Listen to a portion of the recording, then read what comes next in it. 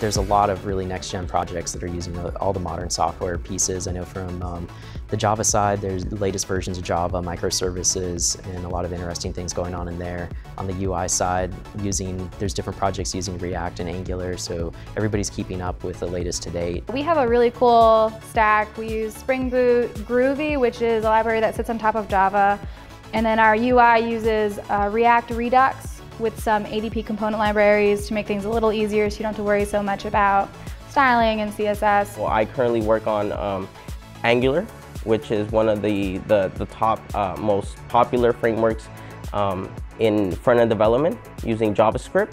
If you are more into the back-end as a developer, um, we are using Spring Boot, which is another um, fast-growing, very popular, it's been around for several years, um, one of those frameworks for the back-end development using Java. We use big data, Apache Spark heavily. Uh, on uh, AI and ML space, we work with scikit-learn, uh, PyTorch, TensorFlow, uh, also uh, SageMaker.